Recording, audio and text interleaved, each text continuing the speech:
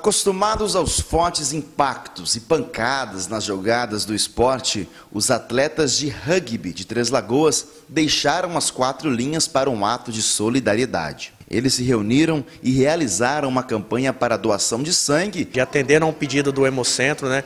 Pela falta de, de, de sangue que estava tendo, a gente veio atender o pedido para ajudar e já prestar os, os, valores que o rugby tem mesmo. Manuel Guilherme tem 18 anos e é um dos atletas novatos do Guaicurus. Eu acho importante que a mensagem que o time de rugby está passando para a população que vai incentivar mais ainda a população do sangue. Aqui, nessa campanha realizada pelo time de rugby, 17 pessoas fizeram a doação. É necessário que a população se mobilize para que nunca falte sangue nos bancos. Nós atendemos é os dois hospitais existentes aqui, mais Brasilândia, Bataguaçu, Santa Rita do Pardo. Então, o, o, fluxo, do jeito que entra, sai. É muito rápido. Além da doação de sangue, foi realizado um cadastro de alguns doadores de medula óssea.